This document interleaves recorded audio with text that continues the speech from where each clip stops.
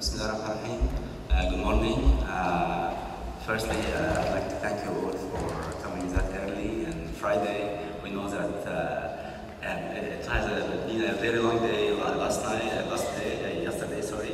And people who even attended uh, at night, uh, left back home at 11 uh, p.m. because of uh, uh, a very interesting workshop done by Professor McIntyre and uh, colleagues Dr. Sam and Dr. Uh, Uh, so uh, thank you very much for, for coming that early. Um, also, I, I need to thank Dr. Tarek Darwish, uh, the conference chair, uh, because um, all what you see in the organization is uh, uh, should be through uh, the conference chair. Uh, we did lots of uh, activities, we did lots uh, of uh, rehearsals, and uh, because of the uh, very hard work of RINA conference and the organizing committee, uh, I, I want to also thank all the moderators, uh, Dr. Mufid, uh, Dr. Amani, uh, Dr. Uh, Yarhi, and all other colleagues in, in, uh, who helped us in this uh, uh, great uh, organization. Uh, our uh, junior colleagues, uh, Dr. Shafana, Dr. Rayan, and uh, all other colleagues like Dr. Ala Akadari, uh, all of them really uh, helped us uh, a, lot, a lot to uh, have this uh, uh, organization. But the organization without audience, without interactive audience, who are really giving the meaning for the conference, uh, would be meaningless. Without you, you are meaningful. So uh, your presence, your inter- interaction, all the people who came uh, from different countries, uh, we have presenters from 17 countries, uh, presenters from different uh, continents. Only, unfortunately, till now, we didn't have uh, presenters from Australia, but we have uh, colleagues from New Zealand. Uh, thanks for, for them to come. So, uh, proudly, we are saying we are an international conference, and this is only because of you. Uh, so, thank you very much, and we hope that we will have a very interactive uh, sessions today, and tomorrow in the workshops, we will be happy to see you again. So, uh, if there is any uh, mistakes, we're human beings, so uh, just we apologize for any uh, mistakes that might happen or might happen, be happened yesterday. So we are sorry for that, but we are very thankful for you to, to be with us. Me as one of the organizing committee, I'm, I'm very thankful but I need to thank uh. Mufid, uh, especially uh, because he's moderating the main sessions. So please, Dr. Mufid.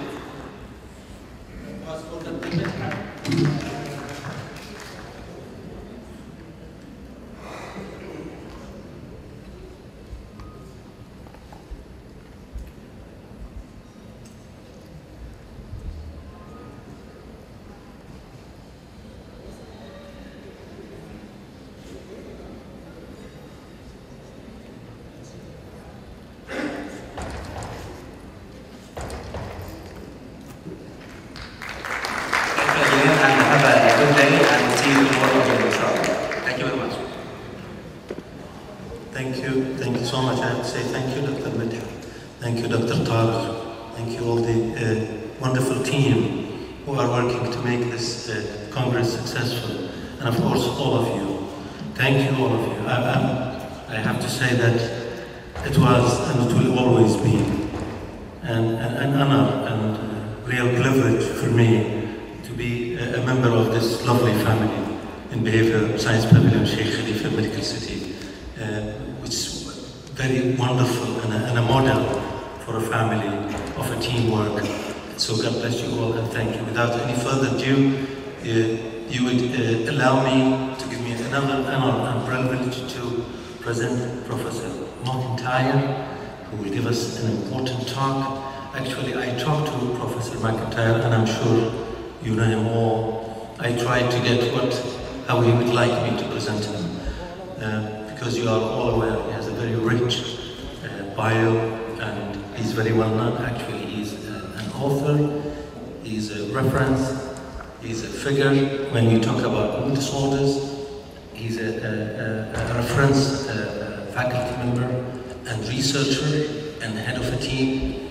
So he humbly accepted that I will just mention two statements, very humbly by uh, Professor McIntyre. He's a professor of psychiatry and pharmacology at the University of Toronto and head of mood disorders psychopharmacology unit at the University Health Network, Toronto, Canada. And he was named by Clarivate Analytics, Thomson, Reuters in 2014, 15, 16, 17, and 18 as one of the world's most influential scientific minds. Please welcome Professor.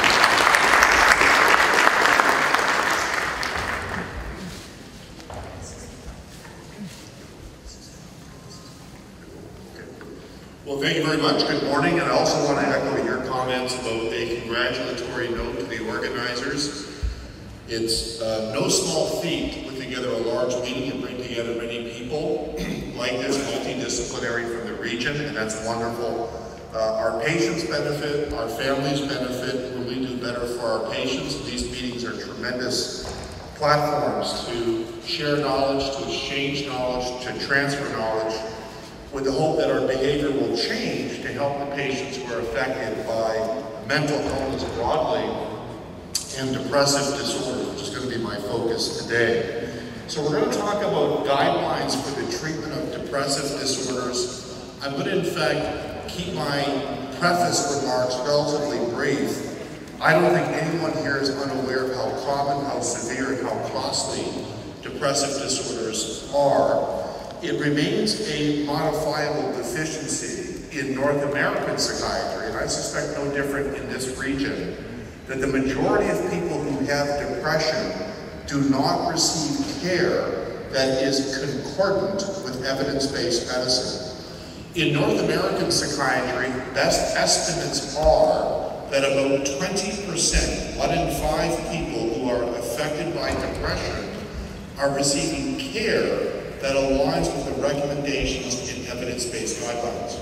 So we want to develop new treatments, we want to develop cures.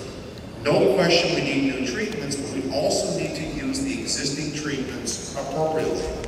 There are guidelines around the world. I'm going to our Canadian guidelines, some of the highlights with you. There are also guidelines from the United States, which are very similar to our Canadian guidelines in other parts of the world, like the UK, uh, Asia, uh, Australia, many other places. So being a Canadian, I'm going to focus on our Canadian guidelines. It starts off with assessment and measurement. And this slide is making the case that every single patient we see with depression should be assessed with measurement. And this is a real change in the field of psychiatry, using measurement to assess symptoms, functions, side effects. Every single patient, no exception. Frankly, the future is going to involve more technology, more passive data collection using apps and smartphones. But for today, this involves the use of scales like the PHQ-9 and other scales. Simply put, what this slide is saying is it's simply using a rating instrument assess depressive outcomes results in a better outcome for people who have depression. Now, I've taken an interest in function and depression. Folks know that this is the most costly uh, disorder of young people. It's the most common reason around the world people cannot function. And the psychosocial impact is extraordinary. I cannot think of a single patient that I've seen in my career who does not require some degree of attention to psychosocial aspects. This may not necessarily be a formalized psychotherapy, but certainly is part of the overall assessment of the patient, in fact, we address these issues. Now, if there was one point I want to make about the initial assessment of a patient with depression, we've got to rule out bipolar disorder. And this has been an area we struggle with in North American psychiatry. It is estimated in a psychiatry setting that around a third of people with depression present with bipolar disorder. And that's an important point of separation insofar as these individuals have a very different algorithm of treatment. My team at Toronto has been interested in the physical impact of depression. Depression is linked to premature aging. These individuals have much higher rates of cardiovascular and metabolic disorders. Our team in Toronto has been looking at the impact of obesity, cardiovascular disease, diabetes, on brain function in adults with depression. And what we know is that diabetes and obesity metastasize to the brain. So depression affects the brain, obesity and diabetes metastasize and adversely affect the brain.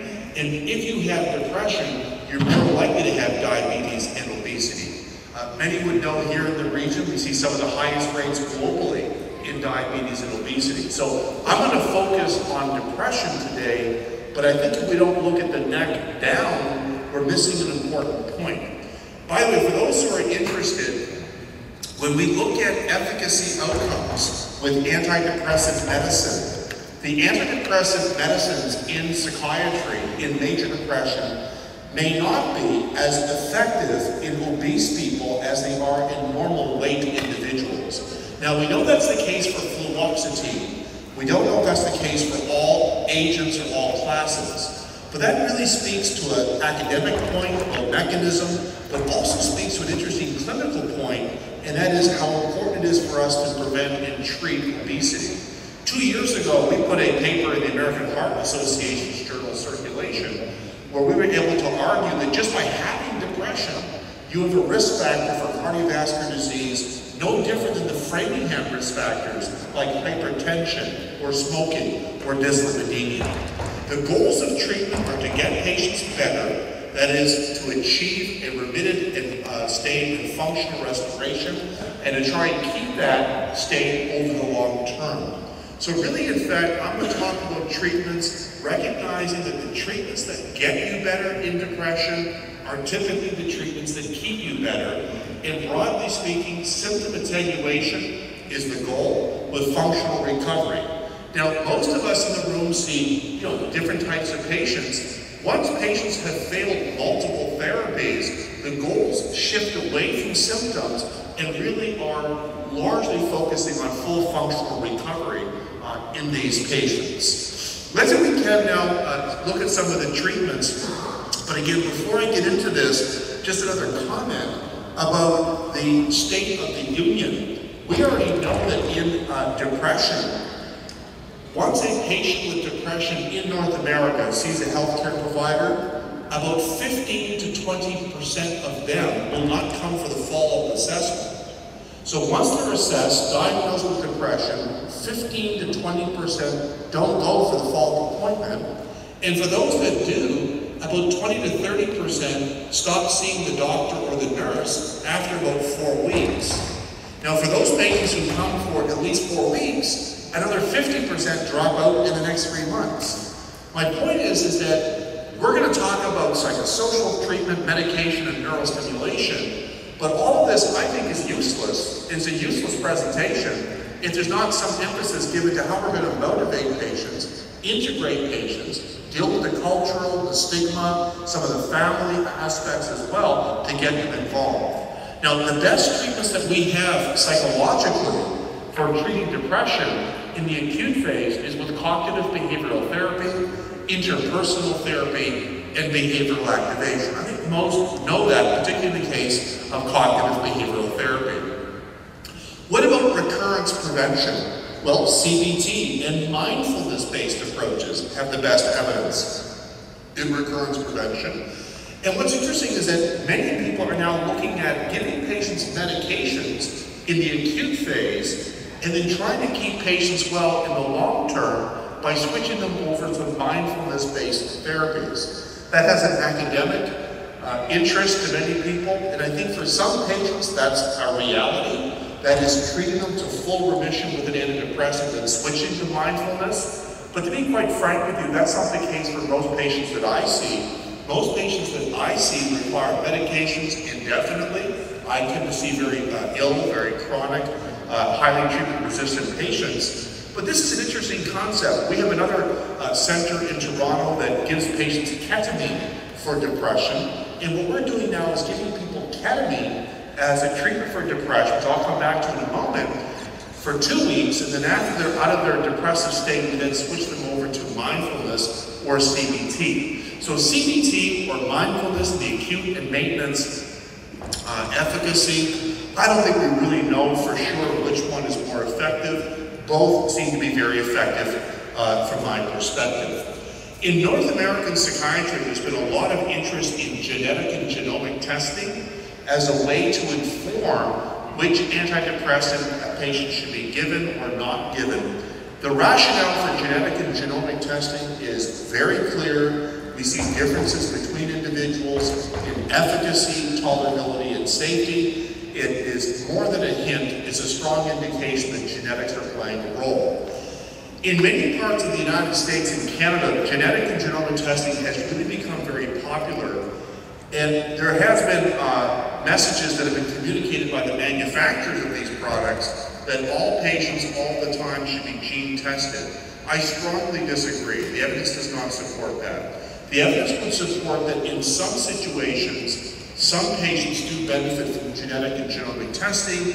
Patients who uh, consistently report poor tolerability, patients who have consistent inefficacy, and certainly there are some patient subgroups that we should be thinking about genomic testing. I always use the example of someone who is of Han Chinese background and I'm considering carbamazepine as a treatment, let's say they have bipolar disorder, I'm going to check their HLA-B1502 antigen to make sure they're not at higher risk of Stevens-Johnson syndrome. But I just want to let you know that at least in North American psychiatry, the behavior is far exceeding the science as it relates to genomic testing. Now, the way we've hierarchically organized our Canadian guidelines, if you've seen this hierarchy before. We have the levels of evidence supporting a recommendation, and then we have the recommendation. We recommend it first, second, or third. Now, it would be uh, the case that a tricyclic antidepressant, which are effective antidepressants, they have level one evidence, unequivocally, but they're not recommended as a first-line therapy because of safety and tolerability disadvantages. So when you're crafting a guideline, it's about integrating the science along with then providing an algorithm uh, of, of care. Now, as it relates to the antidepressants that we currently have, uh, we have a number of different antidepressants that we are considering. There's a number of newer entries into the antidepressant area. You can see the specific call out of vortioxetine. I'm calling that one out because vortioxetine has been recently identified by the US FDA as the only antidepressant that has direct independent effects on cognition. And that's been an area of academic and clinical interest to me for a long time because depression is not a mood disorder. Depression is a mood cognitive disorder and most of our antidepressants have not successfully addressed the cognitive deficits in depression, which for most people is the principal reason why they don't return to pre-morbid levels of functioning. Let's, if we can, have a look at some of the antidepressants. Given the relatively brief, I'll call this a wiki presentation. This is a wiki presentation, brief. Uh, I'm not going to cover all of the antidepressants and all of the detail, but if you look over here to the far right, or sort of the far left, uh, my pointer is doing me justice here. You can see we have different antidepressant categories and agents. And so the million dollar question is, which is the right antidepressant to start with? And we don't have a simple answer. That's why genomic testing has been so popular. But again, I think it's been uh, uh, making uh, sort of statements that probably don't deliver just yet. But the point I want to leave you with here is that we've got a variety of first-line antidepressants, SSRIs, SNRIs, we have receptor modulators, we have multimodal agents, and all of these agents would be very uh, reasonable in any given individual patient. Now, one of the questions that we often ask ourselves is, does the specifiers matter? So the DSM-5 has nine specifiers that would apply to a depressive episode in depression, such as mood congruent or mood incongruent psychosis, melancholia, anxious distress, and so on. And what I would say that, you know, for me as a psychiatrist, outside of psychotic depression, where a patient requires both an antidepressant and an antipsychotic, or a patient who has mixed features, I don't think specifiers have really changed how I think about first-line antidepressant therapy. Said differently, we don't have good evidence that a patient with anxious distress or melancholic depression does differently on antidepressant X versus antidepressant Y. But if you have psychotic depression, you certainly need to start the patient on an antidepressant and an antipsychotic.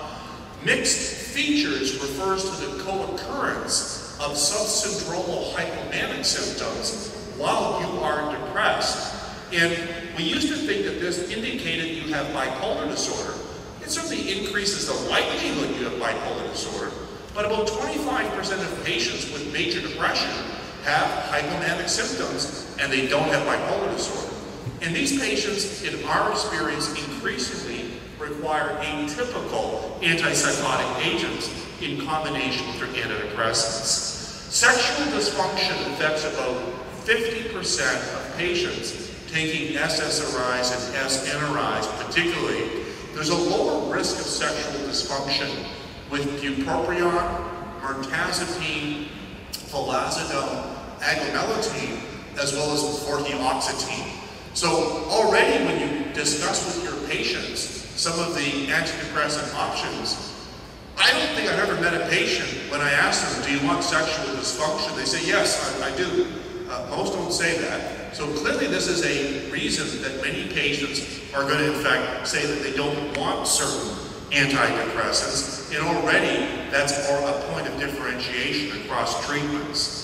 Now, drug-drug interactions are very, very relevant. I think that's the slide I'm looking at right now. Uh, yes, it is. And uh, just to highlight uh, a point, so an academic point, in North America, 10%